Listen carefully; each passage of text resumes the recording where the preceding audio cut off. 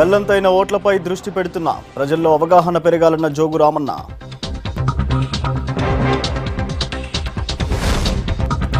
పంచాయతీ ఎన్నికల్లో గులాబీ జెండా ఎగరాలి. కార్యకర్తలు కష్టపడి పనిచేయాలన్న వివేక్. మరో లగ్నవరంగా సిద్దిపేట కోమటి చెరువు బ్రిడ్జి పనులు ప్రారంభిస్తామన్న టూరిజం ఎండీ.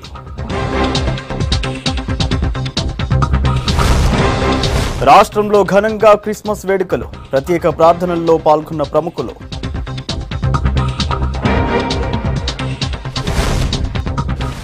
వైభవంగా సంతమల్లన్న జాతర రేపటితో ముగియనున్న ఉత్సవాలు.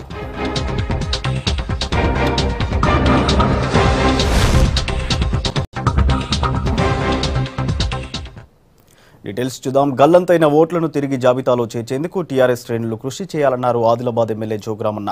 ఇంటింటికి తిరిగి ఓటుపై అవగాహన కల్పించాల్సిన అవసరం ఉందన్నారు. రాబోయే అన్ని ఎన్నికల్లో పార్టీ అభ్యర్థులు విజయం సాధించేలా ప్రతి ఒక్కరూ కష్టపడి పనిచేయాలని పిలుపునిచ్చారు. ఆదిలాబాద్ నియోజకవర్గంలోని నూట పదహారు గ్రామ పంచాయతీలో గులాబీ జెండా ఎగిరేలా కృషి చేయాలని చెప్పారు. ఆదిలాబాద్ పట్టణంలో నిర్వహించిన నియోజకవర్గ స్థాయి కార్యకర్తల సమావేశంలో జోగ్రామన్నతో పాటు ఎమ్మెల్సీ నారదాసు లక్ష్మణరావు పాల్గొన్నారు.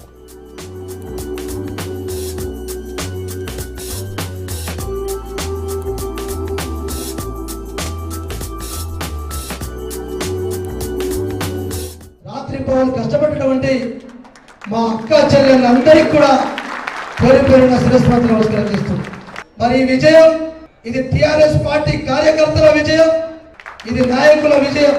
ఇది కార్యకర్తలకు ప్రజలకే ఈ విజయాన్ని అంకితం చేస్తున్నాం ఆదిలాబాద్ నియోజకవర్గంలో ఇరవై ఎనిమిది వేల తొంభై రెండు మందికి పెన్షన్లు ఇస్తున్నాం.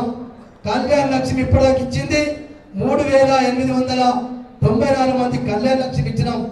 షాదీ ముబారక్ పద్దెనిమిది వందల తొంభై ఐదు మందికి ఇచ్చినాం.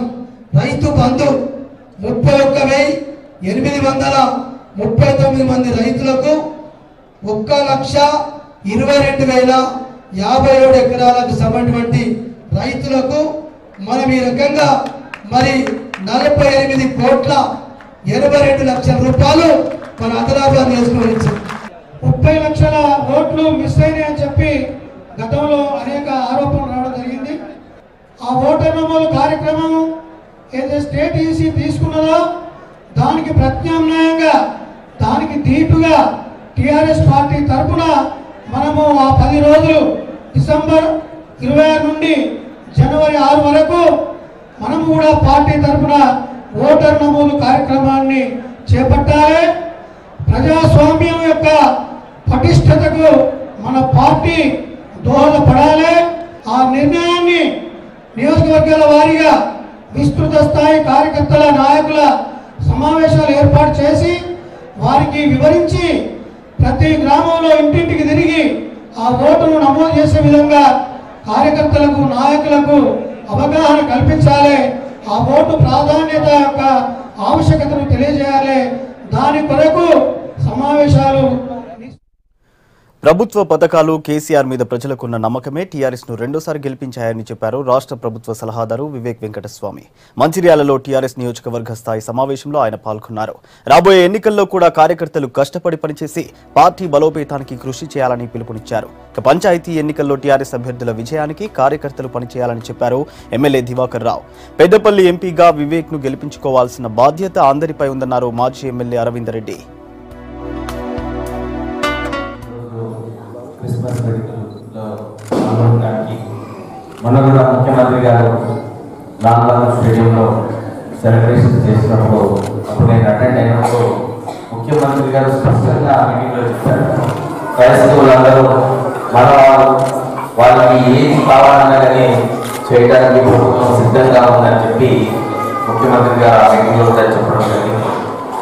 మీరందరూ కూడా ఇప్పుడే పాదర్శ ఇక అసెంబ్లీ ఎన్నికల్లో కాంగ్రెస్ తమకు పూర్తి స్థాయిలో సహకరించలేదన్నారు సిపిఐ రాష్ట్ర కార్యదర్శి చాడా వెంకటరెడ్డి. ప్రజాకూటమిలో భాగంగా మూడు చోట్ల అవకాశం ఇచ్చినప్పటికీ తమతో కాంగ్రెస్ కలిసి రాలేదన్నారు. పార్టీ ఫిరాయింపులు ప్రజాస్వామ్యానికి చేటన్న చాడా బీజేపీకి లాభం చేకూర్చేందుకే కేసీఆర్ ఫెడరల్ ఫ్రంట్ యత్నాలని ఆరోపించారు. వరంగల్ పర్యటనలో భాగంగా స్థానిక నేతలతో మాట్లాడారు చాడా.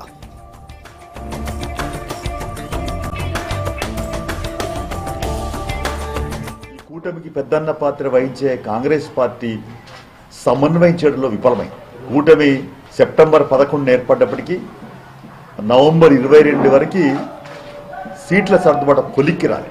అసలు నిలబడ్డ అభ్యర్థులకి అన్ని గ్రామాలు లేదా అంబులెన్స్ తిరగడానికి కూడా సమయం దొరకదు అందువల్ల ఇలాంటి నేపథ్యంలో పార్టీకి బాగా నష్టం జరిగింది.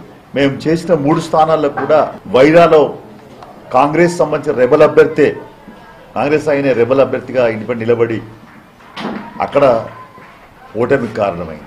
హుస్నాబాద్లో ఉండే కాంగ్రెస్ నాయకత్వం ఆకక్షణలో ఐదారు రోజుల మొదలు వచ్చినందువల్ల కూడా పూర్తి స్థాయిలో ఓటు ఓట్లు ట్రాన్స్ఫర్ కాలేదు. మూడోది బెల్లంపల్లిలో కాంగ్రెస్ పార్టీ పూర్తిగా సహకరించిన పరిస్థితి లేదు. అందువల్ల ఇలా కూటమికి సంబంధించి ఓ రకంగా అనుకూలమైన పవనాలు పవనాలున్నా వాతావరణం ఉన్నా దాన్ని మలుచుకోవడంలో విఫలమైనటువంటి సిద్దిపేటలో పర్యటించారు రాష్ట్ర టూరిజం శాఖ ఎండీ మనోహర్ రావు. పట్టణంలోని కోమటి చెరువు సుందరీకరణ పనులను ఇంజనీర్లతో కలిసి పరిశీలించారు. ఇక చెరువు దగ్గర నిర్మించిన mission Bhagiratha pilot suspension bridge నిర్మాణాలపై వివరాలు అడిగి తెలుసుకున్నారు. పద్నాలుగు నెలల్లో బ్రిడ్జ్ నిర్మాణాలని పూర్తి చేస్తామని చెప్పారు మనోహర్ రావు. లక్నవరం బ్రిడ్జిని నిర్మించిన ఇంజనీర్ గిరీష్ భరద్వాజ్ ఆధ్వర్యంలో ఇప్పటికే సాయిల్ టెస్టులు పూర్తయ్యాయని టెండర్ల ప్రక్రియ ముగియగా పనులు ప్రారంభిస్తామన్నారు.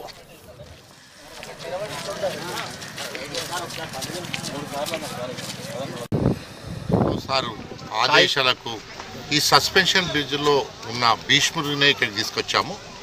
వారు గిరీష్ భరద్వాజ్ గారని మన ఇండియాలోనే సస్పెన్షన్ బ్రిడ్జ్లు కట్టడంలో చాలా ప్రసిద్ధి చెందిన వ్యక్తి. లక్నవరంలో కూడా రెండు సస్పెన్షన్ బ్రిడ్జ్ గిరీష్ భరద్వాజ్ ద్వారానే మనం కట్టాం. సో దాన్ని చూసుకొని మన లోకల్ ఎమ్మెల్యే గారు హరీష్ రావు సారు ఆదేశాల వరకు వారు వచ్చి మన కోమటి చేరిలో చాలాగా చక్కటి మనం సస్పెన్షన్ బ్రిడ్జ్ కట్టచ్చు. రాష్ట్ర వ్యాప్తంగా క్రిస్మస్ పండుగ సంబరాలు గ్రాండ్గా జరుగుతున్నాయి. చర్చిలలో ప్రత్యేక ప్రార్థనలు చేశారు పాస్టర్లు. కుల మతాలకు అతీతంగా జరిగిన వేడుకల్లో కేక్ కట్ చేసి ఒకరికొకరు శుభాకాంక్షలు చెప్పుకున్నారు. జిల్లాలో జరిగిన వేడుకల్లో మాజీ మంత్రులు ఎమ్మెల్యేలు పాల్గొన్నారు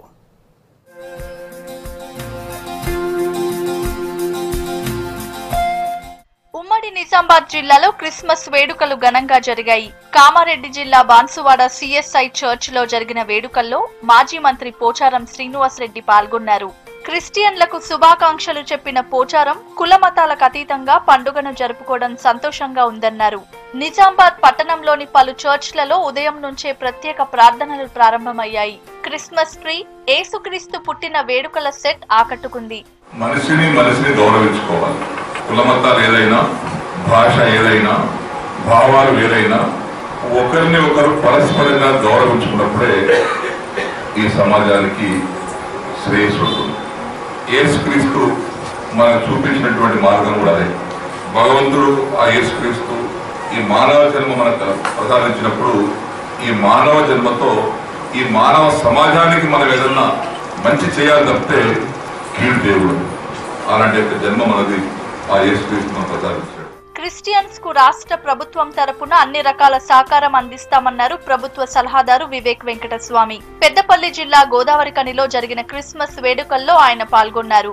వివేక్తో పాటు రామగుండం ఎమ్మెల్యే కోరుకంటి చందర్ కూడా పార్టిసిపేట్ చేశారు. క్యాండిల్స్ వెలిగించి ప్రత్యేక ప్రార్థనలు చేసి కేక్ కట్ చేశారు. ప్రత్యేక ప్రార్థనల తర్వాత వివేక్ను ఆశీర్వదించిన సిఎస్ఐ చర్చ్ ఫాదర్స్ శాలువలతో సత్కరించారు.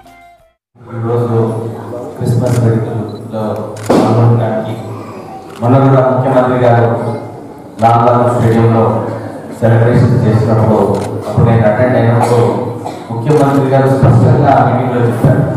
క్రైస్తవులందరూ మనవాళ్ళు వాళ్ళకి ఏది కావాలన్నా కానీ చేయడానికి ప్రభుత్వం సిద్ధంగా ఉందని చెప్పి ముఖ్యమంత్రి గారు ఆ మీటింగ్లో కూడా చెప్పడం జరిగింది. మా నాన్నగారు ఉన్నప్పుడు కూడా ఇప్పుడు దళిత క్రిస్టియన్లు కూడా వాళ్ళ రిజర్వేషన్స్ కల్పించాలని చెప్పి చాలా కొట్టాడడం జరిగింది. తెలంగాణ ప్రభుత్వం ఈరోజు ప్రతిష్టాత్మకంగా ఎవ్వరూ ఏ పండుగను జరుపుకునేటువంటి విధంగా క్రిస్టియన్ సోదరులు అందరూ కూడా అందరూ సంతోషంగా ఈ యొక్క పండుగ కార్యక్రమాలను జరుపుకోవాలని ఆనందాలు ఇవ్వడమే కాకుండా అందరినీ కూడా క్రిస్టియన్ ఏర్పాటు చేసి నిరుపేదైనటువంటి వాళ్ళు కూడా ఎక్కడ కూడా ఇబ్బంది పడదు అని చెప్పేసి గౌరవనీయులు కేసీఆర్ గారు మనకు ఇచ్చినటువంటి ఒక ఆలోచనలు కానీ ఈ యొక్క మద్దతు ప్రోత్సాహాన్ని కానీ ఏ ప్రభుత్వం చేయనటువంటి విధంగా ఖమ్మంలో క్రిస్మస్ వేడుకలు ఘనంగా ప్రారంభమయ్యాయి. అర్ధరాత్రి నుంచే జిల్లాలోని చర్చ్లలో ప్రత్యేక ప్రార్థనలు చేశారు. ఖమ్మం సెంట్ మేరీస్ చర్చ్లో ఎమ్మెల్యే పువ్వాడ అజయ్ ఎంపీ పొంగులేటితో కలిసి వేడుకల్లో పాల్గొన్నారు. చర్చ్ ఫాదర్స్ నుంచి ఆశీర్వాదాలు తీసుకొని రాష్ట్ర ప్రజలకు క్రిస్మస్ శుభాకాంక్షలు తెలిపారు.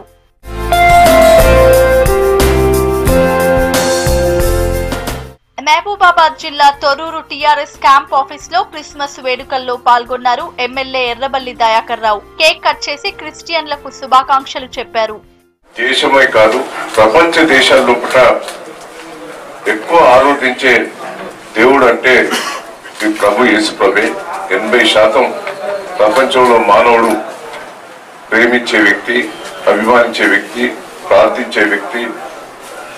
ప్రభు ఇవాళ ప్రభు పుట్టినరోజు జరుపుకోవటం మన పార్టీ ఆఫీస్లో పాల్గొన్న కార్యకర్తలకు పాస్టర్లకు కూడా పేరు పేరున కృతజ్ఞతలు ధన్యవాదాలు తెలియజేస్తూ మెదక్ జిల్లాలో క్రిస్మస్ వేడుకలు ఘనంగా జరుగుతున్నాయి. జిల్లాలోని అన్ని చర్చ్లలో అర్ధరాత్రి నుంచే ప్రార్థనల్లో పాల్గొన్నారు క్రిస్టియన్స్.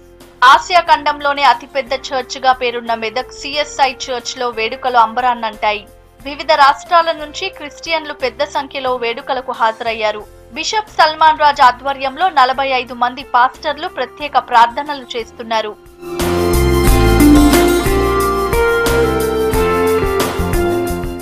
ఉమ్మడి మహబూబ్ నగర్ జిల్లాలో క్రిస్మస్ వేడుకలు ఘనంగా జరుగుతున్నాయి.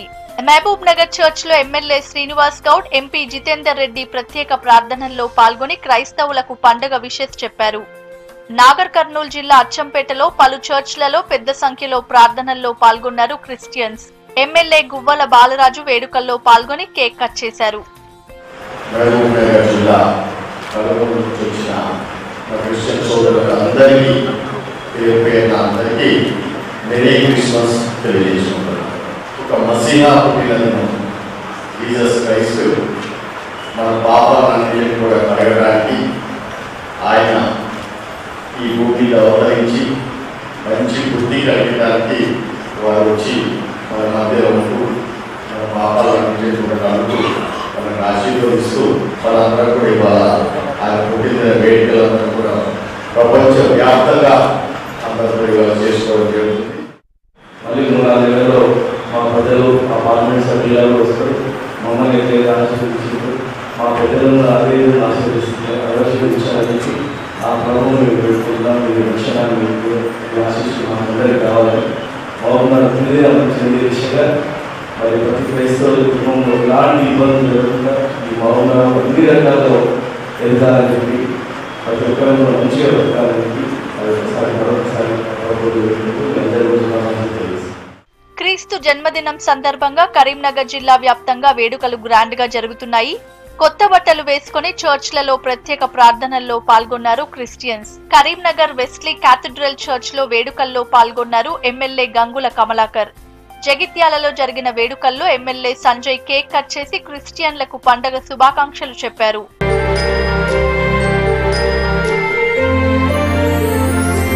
వరంగల్ జిల్లాలో క్రిస్మస్ వేడుకలు గ్రాండ్గా జరిగాయి.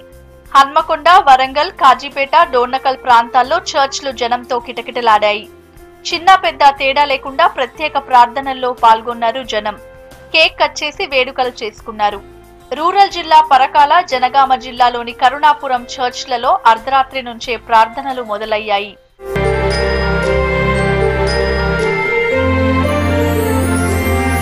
అటు ఉమ్మడి ఆదిలాబాద్ జిల్లా వ్యాప్తంగా క్రిస్మస్ సంబురాలు అంబరాన్నంటాయి. క్రీస్తు జన్మదినం సందర్భంగా చర్చ్లను విద్యుత్ బల్బులతో అందంగా అలంకరించారు. ఉదయం నుంచే చర్చ్లలో ప్రత్యేక ప్రార్థనల్లో పాల్గొన్నారు జనం. హైదరాబాద్ ఖైరతాబాద్లోని డెక్కన్ చర్చ్లో క్రిస్మస్ వేడుకలు గ్రాండ్గా జరిగాయి. క్రీస్తు పుట్టినరోజు సందర్భంగా ప్రత్యేక ప్రార్థనలు చేశారు క్రిస్టియన్లు. పండుగ సందర్భంగా ఏర్పాటు చేసిన సాంస్కృతిక కార్యక్రమాలు ఆకట్టుకున్నాయి.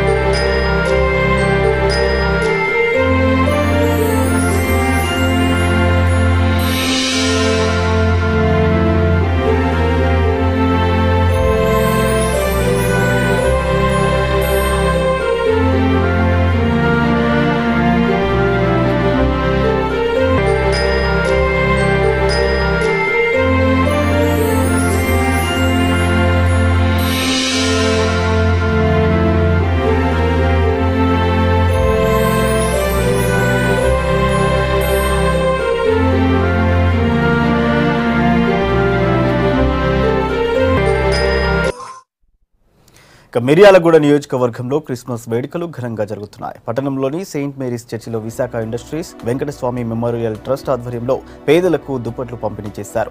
తర్వాత కేక్ కట్ చేసి ప్రత్యేక ప్రార్థనలు నిర్వహించారు. ప్రతి ఏడాది కాకా జ్ఞాపకార్థం ఎన్నో సేవా కార్యక్రమాలు చేపడతామని చెప్పారు Visakha Industry general manager Anil Rao. సందర్భంగా వెంకటస్వామి గారి శ్రీ క్రిస్టియస్ వెంకటస్వామి ఆధ్వర్యం మెమోరియల్ ట్రస్ట్ ఆధ్వర్యంలో చర్చిలో దుప్పట్లు పంచిపెడతాము. దాని తర్వాత శౌరి గారి ఇంటికాడ అన్నదానం కార్యక్రమం జరుగుతుంది. ఇది గత పది సంవత్సరాల నుంచి కంటిన్యూ జరుగుతుంది. దీని గురించి విశాఖ ఇండస్ట్రీస్ యాజమాన్యం ప్రతి సంవత్సరము అమౌంట్ డిస్ట్రిబ్యూట్ చేస్తూ పేదలకు పంచిపెడుతుంది. ఇది ఇలానే జరుగుతుంది. ఎందుకంటే విశాఖ ఇండస్ట్రీస్ గారి ఇన్ ఫౌండేషన్ వెంకటస్వామి గారు చాలా కష్టపడి కార్మిక నాయకునిగా కార్మిక మంత్రిగా పనిచేశారు.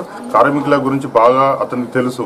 దానివల్ల కార్మికులకు ఉపాధి కల్పించాలని మన మిర్యాడ పట్టణంలో కూడా ఒక ఇరవై కిలోమీటర్ల దూరం కుక్కడం గ్రామంలో ఒక ఫ్యాక్టరీ స్థాపించి ఒక ఐదు వందల మంది కార్మికులు డైరెక్ట్ పనిచేస్తున్నారు. ఒక రెండు వేల మంది దాకా పరోక్షంగా దానివల్ల లబ్ధి పొందుతున్నారు. ఈ ఫ్యాక్టరీ ఇలానే ప్రతి సంవత్సరం అభివృద్ధి చెందుతూ ఇప్పుడు V board V panel V solar మూడు ప్లాంట్లు అయినాయి. ఫ్యూచర్లో ఇంకా బాగా డెవలప్ అయ్యి బాగా జరుగుతుందని కోరుకుంటున్నాను. కొమరం భీం జిల్లా చింతల మానేపల్లి మండలం రవీంద్రనగర్ గ్రామానికి చెందిన ఆర్మీ జవాన్ రాజేష్ జమ్మూ కాశ్మీర్లో జరిగిన ఎదురు కాల్పుల్లో అమరుడయ్యాడు. నిన్న రాత్రి పెట్రోలింగ్కు వెళ్ళిన జవానుల బృందంపై దుండగులు కాల్పులకు దిగడంతో రాజేష్ అక్కడికక్కడే చనిపోయాడు. రాజేష్ మృతితో రవీంద్రనగర్లో విషాద ఛాయలు నెలకొన్నాయి. రాజేష్కు భార్య ఇద్దరు పిల్లలున్నారు. ఇవాళ రాత్రి లేక రేపు ఉదయం రాజేష్ మృతదేహం స్వగ్రామానికి చేరుకుంటుందని అధికారులు తెలిపారు. राजेश घर में आया था। हमारे से बात हुआ। हमने कहा था, राजेश रिटायर्ड हो गया, क्यों घर नहीं आ रहा अभी? नौकरी छोड़ के घर आए तो अच्छा रहता था ना। उन्होंने क्या बोला, नहीं, और दो साल करेंगे, फिर बाद में बच्चे लोगों का फ्यूचर अच्छा रहता। घर में आके खाली पीली बैठ के रहे तो पैसा कमाई नहीं होता। और उसका शौक ज़्यादा था कि वो आर्मी में बॉर्डर साइड में उग्रवादी से थोड़ा लड़ना, झगड़ना। वो तो एक एक्सपोर्ट मैन था, लड़का। बहुत ही हमारा गाँव के प्यारा लड़का था। आज बहुत ही दुख के साथ कहना पड़ रहा है कि वो आज देश के लिए शहीद हो गया। हमारा तो अच्छा नहीं लग रहा। चलो ठीक है, देश के लिए शहीद हो गया। भगवान उसके आत्मा को शांति మొన్నటిదాకా అసెంబ్లీ ఎన్నికల్లో ఎమ్మెల్యేలను గెలిపించేందుకు కార్యకర్తలు అండగా నిలబడితే ఇప్పుడు తమ కార్యకర్తలకు తోడుగా నిలుస్తున్నారు టీఆర్ఎస్ ఎమ్మెల్యేలు. కింది స్థాయి కార్యకర్తలను పంచాయతీ లోకల్ బాడీ ఎన్నికల్లో గెలిపించే బాధ్యతలను నాయకులు భుజానికి ఎత్తుకున్నారు. నియోజకవర్గాల సమావేశాల్లో పంచాయతీ ఎన్నికలను సీరియస్గా తీసుకుంటామని నేతలు హామీ ఇస్తూ పార్టీ కోసం పనిచేసే కార్యకర్తలకు అండగా ఉంటామని భరోసా ఇస్తున్నారు.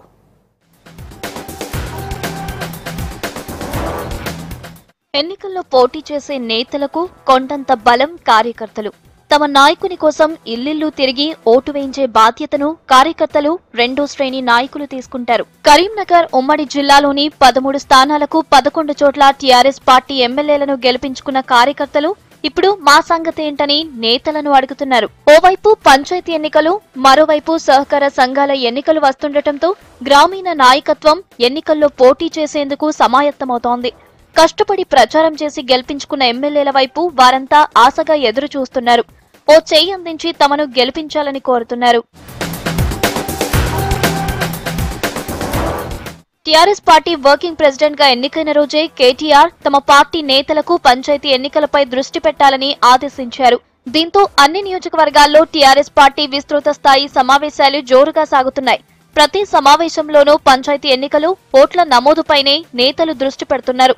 పంచాయతీ ఎన్నికలు ఆ తర్వాత వచ్చే మున్సిపల్ ఎన్నికలు ఎంపీటీసీ జెడ్పీటీసీ ఎన్నికలకు కూడా కార్యకర్తలు సిద్ధం కావాలని సూచిస్తున్నారు. పనిలో పనిగా గల్లంతైన ఓట్లపై దృష్టి పెట్టి అందరితో ఓటు హక్కు నమోదు చేయించుకోవాలని కోరుతున్నారు. ఏకగ్రీవంగా ఎన్నుకోవాలి.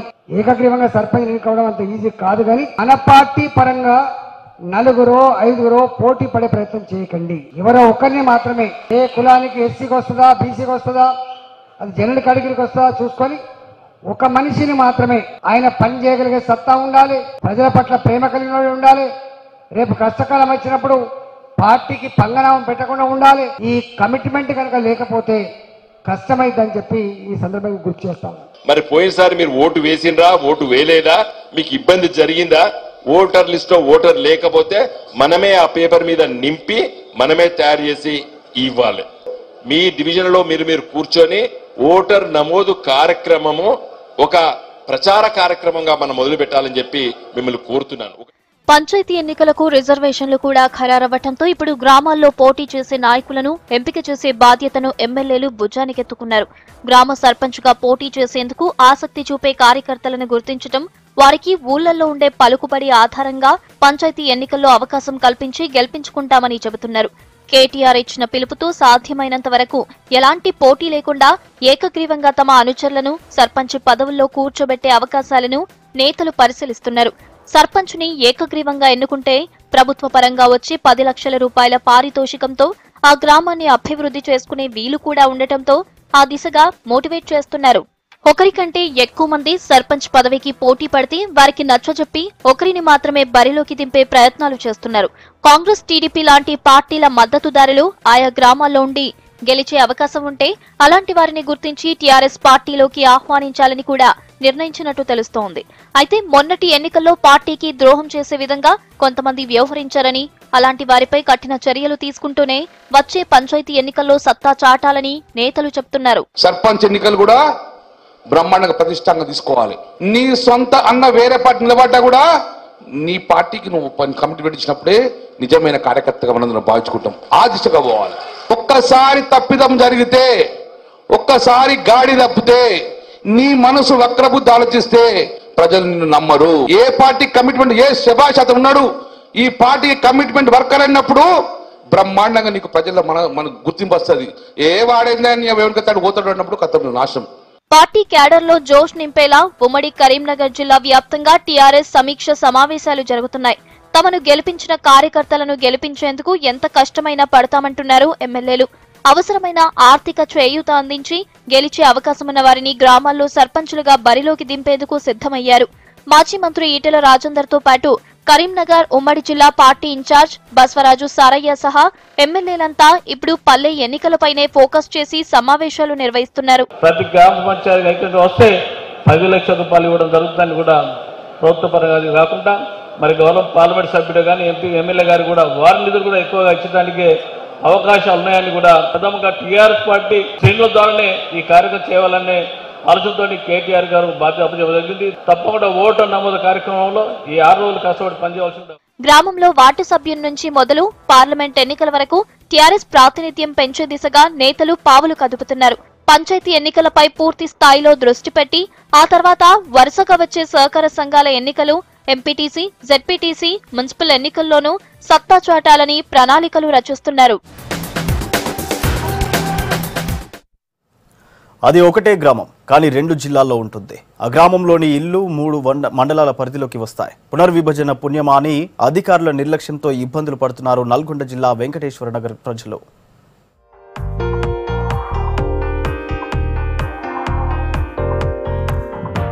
ఇల్లు ఒక మండలం ఇంతెనకాలుండే బాత్రూమ్ మరో మండలం.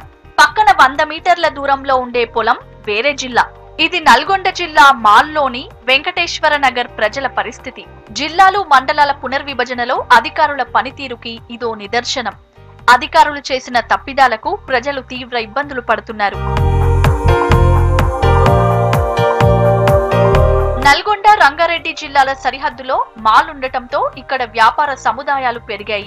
దీంతో ఇక్కడి ప్రజలు మాల్ పట్టణాన్ని రంగారెడ్డి జిల్లాలో కలపాలని డిమాండ్ చేస్తున్నారు. మూడేళ్ళుగా తమ డిమాండ్లు నెరవేర్చాలంటూ ఆందోళనలు చేపట్టారు. పేరుకు పెద్ద వ్యాపార కేంద్రమే అయినా రెండు జిల్లాల పరిధిలో విస్తరించి ఉండటంతో పట్టణానికి గుర్తింపు రావడం లేదంటున్నారు స్థానికులు.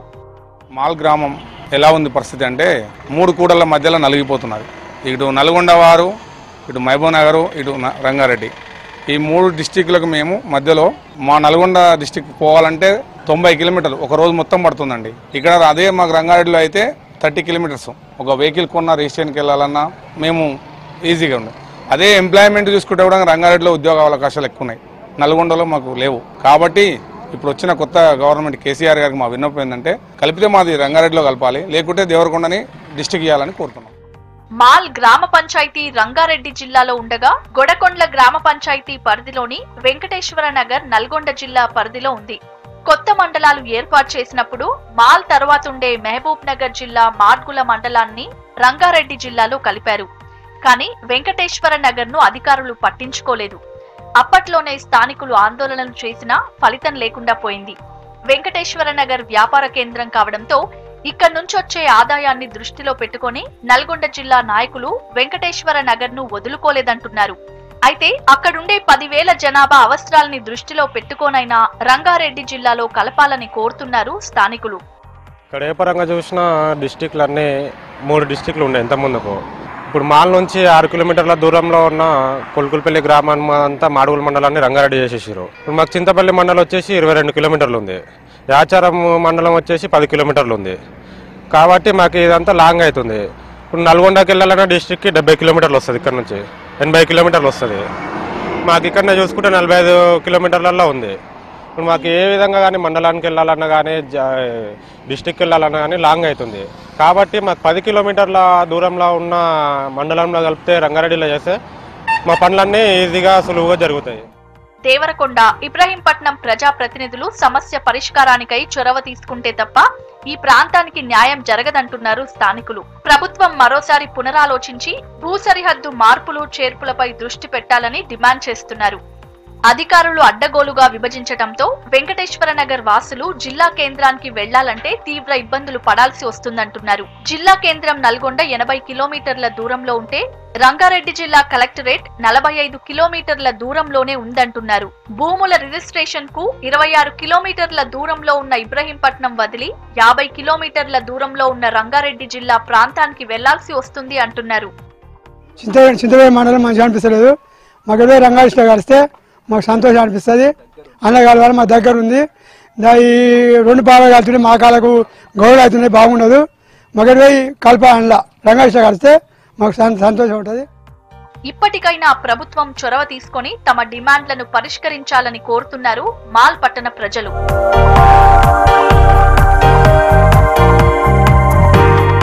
నిజామాబాద్ జిల్లాలో సంత మల్లన్న జాతర వైభవంగా జరుగుతోంది. మల్లన్నను దర్శించుకునేందుకు భక్తులు పెద్ద సంఖ్యలో తరలివస్తున్నారు. వందేళ్ళ చరిత్ర ఉన్న ఆలయంలో కుల మతాలకు అతీతంగా జాతరను నిర్వహించడం ఇక్కడ ఆనవాయితీగా వస్తోంది. ఈ నెల ఇరవై ఒకటిన మొదలైన జాతర రేపటితో ముగియనుంది. అక్సాపూర్ సంత మల్లన్న జాతర ఉత్సవాలు ఘనంగా కొనసాగుతున్నాయి. వంద సంవత్సరాల క్రితం గుట్ట కింద వెలిసినటువంటి ఈ యొక్క స్వామివారిని ఇష్టదైవంగా కొలుస్తారు ఈ ప్రాంత ప్రజలు. అంక్సాపూర్ ప్రాంతంతో పాటు చుట్టుపక్కల ఉన్నటువంటి దాదాపు యాభై గ్రామాల ప్రజలు ఈ జాతరలో పాల్గొంటారు. ప్రస్తుతం కొనసాగుతున్నటువంటి అంక్సాపూర్ సంతమలన జాతరపై వి సిక్స్ స్పెషల్ ఫోకస్. ఇది నిజామాబాద్ జిల్లా వేల్పూరు మండలం అంక్సాపూర్ గ్రామం.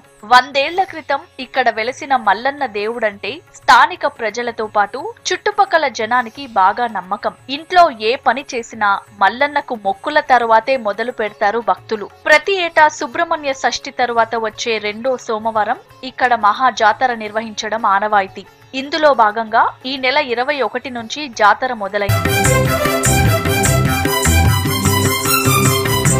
గుట్టపై వెలసిన స్వామిని సంత మల్లన్నగా పిలుచుకుంటారు భక్తులు.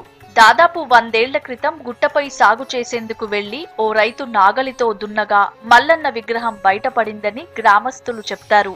దీంతో కొంతమంది పెద్దల సాయంతో విగ్రహాన్ని అదే గుట్టపై ప్రతిష్ఠించి పూజలు చేయడం ప్రారంభించినట్లు చెప్తున్నారు. అప్పటి నుంచి ఆ గుట్టని సంత మల్లన్న గుట్టగా పిలుస్తున్నారు. ప్రతి ఏటా కులమతాలకు అతీతంగా ఇక్కడ ఐదు రోజుల పాటు జాతర నిర్వహిస్తారు భక్తులు. ఊరూరంతా ఏకమై జాతరలో పాల్గొనడం ఇక్కడి ప్రత్యేకత. జాతర సందర్భంగా స్వామివారి కళ్యాణం రథోత్సవం అగ్నిగుండాలు హోమం ప్రసాద వితరణ లాంటి ప్రత్యేక కార్యక్రమాలు ఏర్పాటు చేస్తారు. జాతర సమయంలో పెద్ద సంఖ్యలో భక్తులు ఉత్సవాల్లో పాల్గొని ప్రత్యేక పూజలు నిర్వహిస్తారు.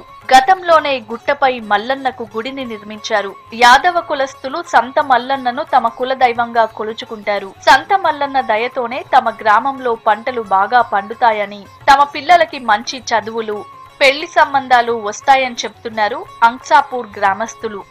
మేము అనుకున్న ఈ గ్యారంటీ నిలవేరుతాయి మండే రోజు వచ్చి బోనం తీసి బుధవారం రోజు పోతాం. రేపు మూడు రోజులు ఇక్కడనే ఉంటాం. కోరికలు తీరుతాయి మొక్కిన మొక్కులు అన్ని కోరికలు తీరుతాయి కోరిన వారు కొడుకులు ఇస్తారు. ఇక పిల్లలు అందరూ మంచిగా ఉండాలని ఎప్పుడు వస్తాం ప్రతి సంవత్సరం జాతర సందర్భంగా అంసాపూర్ చుట్టుపక్కల ఉన్న యాభై గ్రామాల ప్రజలు స్వామివారిని దర్శించుకుంటారు. నిజామాబాద్ కామారెడ్డి నిర్మల్ జగిత్యాల్ కరీంనగర్ మంచిర్యాల జిల్లాల ప్రజలు జాతరకి తరలి వస్తారు జాతర మొదటి రోజు ఇక్కడికి వచ్చే భక్తులు ఇక్కడే బస చేస్తారు. కనీసం మూడు రోజులు ఇక్కడే ఉండి మల్లన్నకు మొక్కులు చెల్లించుకుంటారు. మల్లన్న గుడి మేము ముప్పై ఏళ్ళ మేము రాబట్టి మంచిగా మొక్కులన్నీ మాకు మంచిగా సంబంధం అవుతున్నాయి. ఈ దేవుడు మాకు బాగా సాధిస్తున్నది గురడోళ్ళు కురుమోళ్ళు గొల్లోళ్ళము అందరం వస్తున్నాం సంతోషం ఉన్నది మాకు. అన్ని మంచిగా ఉన్నాయి. మేము ఏండ్ల కొద్ది వస్తున్నాం ఇక్కడికి. ఇక నైద్యాలు కొబ్బరికాయలు తొట్లేలు గొర్రె పిల్లలు ఇవన్నీ నాలుగు రోజులు వండుకుంటారు ఈడ. అన్ని కోరికలు తీరుతాయి. జాతర సందర్భంగా నిన్న స్వామివారి కళ్యాణం రథోత్సవం వైభవంగా జరిగింది. ఇవాళ అగ్నిగుండాల కార్యక్రమం జరగనుంది. వంద సంవత్సరాలకు పైగా చరిత్ర కలిగినటువంటి సంతమల్లన్న అంక్సాపూర్ సంతమల్లన్న ఆలయంలో ఈ యొక్క జాతరోత్సవాలు ఘనంగా కొనసాగుతున్నాయి. తమ ఇంటి దైవంగా తమ ప్రాంతాన్ని కాపాడేటువంటి దేవుడిగా కొలమైనటువంటి సంతమన్న సంతమల్లన్న జాతరలో పాల్గొని ఇక్కడ ప్రత్యేక పూజా కార్యక్రమాలు చేస్తే తమకున్నటువంటి కష్టాలన్నీ తొలగిపోతాయని ప్రాంతవాసుల అభిప్రాయం. గత వందేళ్ళుగా స్వామివారిని కొలుస్తూ తరిస్తున్నారు ఈ ప్రాంత ప్రజలు. చక్కని పంటలు పండించడంతో పాటు అంతా కలిసిమెలిసి ఉండడానికి తమ స్వామి ఆ- ఆశీస్సులే తమకు ఉన్నాయనేటువంటి విషయాన్ని ఈ చుట్టుపక్కల ప్రాంతాల ప్ర- ప్రజలు చెప్తున్నారు. ఇది వాటి స్పెషల్ ఫోకస్. మరో ఫోకస్తో మరోసారి కలుద్దాం. Camera person రాజేష్తో Rajinikanth V six news Nizamabad. Yadadri ప్రధానాలయ పునర్నిర్మాణ పనులు తుది దశకు చేరుకున్నాయి. స్వయంభూ దర్శనాలు పునరుద్ధరించేందుకు పనులు వేగవంతం చేశారు అధికారులు. సప్త గోపురాలు అష్టభుజి ప్రాకారాలు కాకతీయుల కట్టడాలను గుర్తు చేసే రాతి స్తంభాలతో యాదాద్రి ముస్తాబవుతోంది. ఆధారశిల నుంచి శిఖరం వరకు కృష్ణరాతి శిలతో రూపొందుతోంది ఆలయం.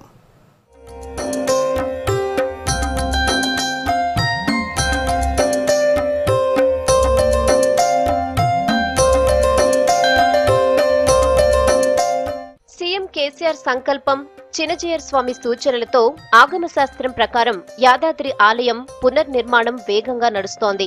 దాదాపు రెండున్నర ఎకరాల విస్తీర్ణంలో అంతర్బాహ్య ప్రాకారాలు ఏడు రాజగోపురాలతో యాదాద్రి ప్రధానాలయం శిల్పకళా శోభితంగా ముస్తాబవుతోంది. ప్రపంచంలో ఎక్కడా లేని విధంగా అష్టభుజి ప్రాకారాలు బాహ్య అంతర్ ప్రాకారాలతో వెయ్యేళ్ళ పాటు పటిష్టంగా ఉండేలా ఆలయాన్ని నిర్మిస్తున్నారు. ప్రాచీన శిల్పకళ ఉట్టిపడేలా పూర్తిగా భారీ రాతి నిర్మాణాలతో యాదాద్రి రూపుదిద్దుకుంటోంది. దాదాపు ఇప్పుడు దాకా రెండున్నర లక్షల టన్ను రాయితోటు ఈ పని జరుగుతూ ఉంది. ఇంకా ఒక్క పదిహేను రోజుల లోపల శిల్పి పని మొత్తం జరిగిపోతుందండి. ప్రత్యేకత ఏమిటంటే ఈ పునరుద్ధరణ పనిలో ఆరు రకమైన రాజగోపురాలు అంటే ఒక్క ఏడంతస్తు రాజగోపురం నా ఐదంతస్తు రాజగోపురం నాలుగు మూడంతస్తు రాజగోపురం ఒకటి ఒక విమాన గోపురంతో ఈ పని అన్ని జరుగుతుంది. ఈ అష్టభుజి మండపం అన్నది ఇంతదాకా ఎక్కడ కూడా లేని విధంగా రూపొందించడం నా ప్రత్యేకత. తెలంగాణ ప్రభుత్వంలో మన రాష్ట్ర ముఖ్యమంత్రి కేసీఆర్ గారు మాకు ఇచ్చిన ప్రోత్సాహంతో ఎక్కడ లేని విధంగా మేము చేయ చేయడం మా పూర్వజన్మ సుకృతాన్ని అనుకుని భావిస్తుంది. యాదగిరి గుట్టను ప్రపంచ స్థాయి పుణ్యక్షేత్రంగా పునర్నిర్మించాలన్న సంకల్పంతో రెండున్నరేళ్ళ క్రితం సీఎం కేసీఆర్ ఆలయ పునర్నిర్మాణ పనులు ప్రారంభించారు. ఇందుకోసం ఆలయ అథారిటీని ఏర్పాటు చేశారు. కాంక్రీట్ పనుల్లో జాప్యంతో రాతి శిల్పాల పనులు ఆలస్యమైన authority vice chairman Kishan Rao కృషి స్థపతుల పర్యవేక్షణతో ప్రధానాలయ పనులు స్పీడ్ అందుకున్నాయి నల్లరాతి శిలల పనులకు వెయ్యి మంది శిల్పులు పనిచేస్తున్నారు. రెండేళ్ళలోనే శిల్పాలు ప్రతిష్ఠించే పనులు దాదాపు పూర్తి చేశారు. తెలంగాణ తిరుపతిగా అభివృద్ధి చెందాలనే ఉద్దేశంతో మంచి కృష్ణా శిలతోటి మరి ఇప్పుడు పన్నెండు వందల మంది శిల్పులతోటి అతి వైభవంగా తీర్చిదిద్దటానికి కంకణం కట్టుకొని రెండు సంవత్సరముల నుంచి మూడు సుమారు మూడవ సంవత్సరం అవిశ్రాంతంగా పనిచేస్తున్నారు. గత పోయిన దసరాలో పూర్తి కావాల్సింది కొన్ని అనివార్య కారణాల వల్ల. అంటే కారణం ఏంటంటే పని చేస్తున్నా కొలితే ఇంకొక పని వస్తుంది. వాళ్ళకు అంతు చిక్కనటువంటి యొక్క పనిని వృద్ధి చేయుటకు అవిశ్రాంతంగా కృషి చేస్తున్నారు. యాదాద్రి ప్రధానాలయంలో ఆధ్యాత్మిక భావన కలిగేలా అద్భుత రాతి శిల్పాలు సిద్ధమవుతున్నాయి. అష్టభుజి ప్రాకార మండపాలు సప్త గోపురాలు కాకతీయ సంప్రదాయ కట్టడాలను తలపించేలా రాతి స్తంభాలు సింహం ముఖంగా ఉండే యాలి పిల్లర్లు పూర్తవుతున్నాయి. ఆలయ ముఖ మండపంలో వైష్ణవ ధర్మాన్ని చాటి చెప్పిన పన్నెండు మంది భక్తాగ్రేసర ఆళ్వార్ స్వాముల విగ్రహాలు ఆలయంలోకి చేరుకోగానే దర్శనమిచ్చేలా ఏర్పాటు చేశారు. నారసింహ తత్వాన్ని బోధించే ప్రహ్లాదుడు యాద మహర్షి రాతి స్తంభాలు ప్రతిష్ఠించారు. దాదాపు తొంభై శాతం పూర్తయిన ప్రధానాలయం శిల్పకళా ఖండాన్ని గుర్తు చేస్తోంది గత నాలుగు సంవత్సరం నుండి తెలంగాణ ప్రభుత్వం కల్వకుంట చంద్రశేఖరరావు గారి ఆకాంక్షతో వారి యొక్క భక్తి శ్రద్ధలతో ప్రభుత్వం నుండి నిధుల విడుదల చేస్తూ ఆలయ పునర్నిర్మాణాన్ని చేపట్టడం జరిగింది. మహావైభవంగా అష్టభుజ మంటపాలతో ప్రాకార మంటపాలతో మాడవీధులతో ఏడు గోపురాలతో స్వామివారు మహావైభవంగా నిర్మించడం జరుగుతుంది. ఇటు దేవాలయం ప్రపంచంలో ఎక్కడా కూడా కృష్ణశిలతో నిర్మించినటువంటి ఒకే ఒక దేవాలయం మన యాదాద్రి దేవస్థానం. స్వామివారి యొక్క గర్భాలయం చుట్టూరా స్వామివారికి కృష్ణశిలచే నిర్మించబడినటువంటి గోపుర ప్రాకార నిర్మాణం అత్యంత వైభవంగా నిర్మించడం జరుగుతుంది. అతి శరవ శరవేగంగా ఈ ఆలయ నిర్మాణం రాత్రింబగళ్ళు శిల్పులు కష్టపడి ఆలయ నిర్మాణం చేస్తున్నారు. మన ప్రభుత్వం వారు అత్యంత వైభవంగా దీన్ని ఏకాకృతమైనటువంటి దీక్ష తీసుకొని స్వామివారి యొక్క ఆలయ నిర్మాణం భక్తుల యొక్క సౌకర్యార్థం కొన్ని వేల సంవత్సరముల వరకు కూడా ఉండే విధంగా ఇటు ఆలయ నిర్మాణం చేయడం జరుగుతుంది. స్వామివారి ప్రధాన ఆలయానికి అష్టభుజి ప్రాకారాన్ని ప్రపంచంలో ఏ ఆలయానికి లేని విధంగా డిజైన్ చేశారు. సప్తగోపుర సముదాయంతో ఆలయ ప్రాకార మండపం కొత్త శోభతో కనిపిస్తోంది. ఆలయానికి నలుదిశలా నాలుగు ఐదు తలల రాజగోపురాలు ఈశాన్య దిశలో త్రితల రాజగోపురం గర్భాలయంపై పంచతల మహారాజగోపురం పశ్చిమ దిశలో సప్తతల మహారాజగోపురం నిర్మాణాలు పూర్తయ్యాయి. బాహ్య ప్రాకారమైన అష్టభుజి మండప నిర్మాణాలు దాదాపు పూర్తయ్యాయి. అంతర్ప్రాకార పనులు ఆలయ మండపాలు ప్రాకార మండపాలకు ఫ్లోరింగ్ పనులు కొనసాగుతున్నాయి. ఆలయం ఆగ్నేయం నైరుతి దిశల్లో రెండు లిఫ్ట్లు ఏర్పాటు చేస్తున్నారు. వృద్ధుల కోసం ఒక లిఫ్ట్ స్వామివారికి ప్రసాదం తీసుకొచ్చే అర్చకుల కోసం మరొక లిఫ్ట్ ఉపయోగించనున్నారు. ఇప్పటికీ ఆలయ అభివృద్ధులు పూర్తి కావడం జరుగుతూ ఉంది. చూడడానికి చాలా చక్కగా ప్రాచీన కాలంలో రాజుల కాలంలో ఏ విధంగా అయితే రాళ్ళ నిర్మాణాలు చేపట్టారో ఇవాళ రాళ్ళల్లో అతి విలువైనటువంటి పవిత్రమైనటువంటి కృష్ణశిలను తీసుకొని ఈరోజు ఈ రాళ్ళ ద్వారా గుడి నిర్మాణం జరుగుతూ ఉంది. ఏడు రాజగోపురాలు ఉన్నాయో ఇక్కడ ఉన్నటువంటి కళా శిలా నైపుణ్యాలను చూస్తూ భక్తులు కానీ స్థానికులు కానీ చాలా ఆనందోత్సానికి గురవుతా ఉన్నారు. ప్రధాన ఆలయంతో పాటు ఇతర పనులు కూడా వేగంగా జరుగుతున్నాయి. కొండపైన శివాలయం వ్రత మండపాలు పుష్కరిణి విస్తరణ పనులు స్పీడందుకున్నాయి దీంతో పాటు కొండ చుట్టూ గిరి ప్రదక్షిణ రోడ్డు యాదాద్రి చుట్టూ ఉన్న ఊళ్ళని కలుపుతూ రింగ్ రోడ్ పనులు మొదలయ్యాయి. మరోవైపు భక్తుల వసతి కోసం పెద్ద గుట్టపైన టెంపుల్ సిటీ నిర్మాణ పనులు కొనసాగుతున్నాయి. మొత్తం ఎనిమిది వందల యాభై ఎకరాల్లో ఎనిమిది వందల యాభై కాటేజ్లు నిర్మిస్తుండగా మొదటి విడతలో రెండు వందల యాభై ఎకరాల్లో రెండు వందల యాభై కాటేజ్ల లేఅవుట్లు పూర్తయ్యాయి. దాతల సాయంతో కాటేజ్లు నిర్మిస్తామంటున్నారు అధికారులు. యాదాద్రి లక్ష్మీ నరసింహస్వామి వారి ఆలయం పూర్తయిన తర్వాత వచ్చే భక్తులందరికీ కూడా ఇక్కడ రెండు మూడు రోజులు వారు కుటుంబ సభ్యులతో సౌకర్యవంతంగా ఉండడం కొరకు ఆలయ నగరి నిర్మాణం ఏర్పాటు జరుగుతోంది. ఇప్పటికే మొదటి దశలో రెండు వందల యాభై ఎకరాలలో రోడ్లు కరెంటు వాటర్ ఇత్యాదివన్నీ ఇన్ఫ్రాస్ట్రక్చర్ ఏర్పాటు చేయడం జరిగింది. తొందరలోనే వసతి గృహాల నిర్మాణం చేపట్టబోతున్నాం. దాదాపుగా మూడు వందల వరకు ప్లాట్స్ అన్ని కూడా విల్లాస్ ఏర్పాటు చేయడం జరుగుతుంది. యాదాద్రి ప్రధానాలయంలో ముఖ్య క్లిష్టమైన నిర్మాణాలన్నీ తుది దశకు చేరడంతో స్వయంభూ మూర్తుల పునః ప్రతిష్టకు సన్నాహాలు జరుగుతున్నాయి. చిన్నజీయర్ స్వామితో సంప్రదింపులు చేస్తున్నారు అధికారులు. అన్ని అనుకూలిస్తే వచ్చే బ్రహ్మోత్సవాలు నవ యాదాద్రిలో జరిగే అవకాశాలున్నాయి.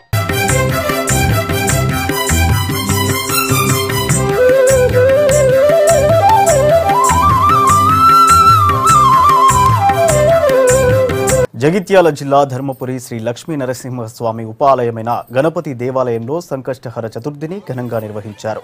సంకష్టహర చతుర్థి మంగళవారం రావడంతో ప్రత్యేక పూజలు నిర్వహించారు. ఈరోజు విఘ్నేశ్వరుడికి ఇష్టమైన రోజు కావడంతో ఉపవాస దీక్ష పాటిస్తారని ఆలయ అర్చకులు చెప్పారు.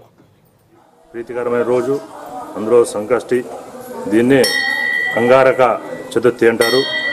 ఎవరైతే ఈ రోజు గణపతిని దర్శించుకొని గణపతికి పూజ చేసి తీర్థప్రసాదం తీసుకుంటారో వారికి విద్యార్థి లభతే విద్యాన్ ధనార్థి లభతే ధనం పుత్రార్థి లభతే పుత్రాన్ మోక్షార్థి లభతే గతిం అని మన సంకటనాశ స్తోత్రం చెప్పబడ్డది. ఈరోజు పూజ చేసుకొని వాళ్ళు దర్శ చంద్రదర్శనం అంటే ఈరోజు ముఖ్యంగా ఈ చతుర్థి సంకట చతుర్థి వ్రతం పడతారు. ఉదయం స్వామివారిని దర్శనం చేసుకొని పూజ చేసుకొని రాత్రి చంద్రోదయం అయినాక ఆ చంద్రుని దర్శనం చేసుకొని భోజనం ఇవి Telangana updates. Keep watching V six news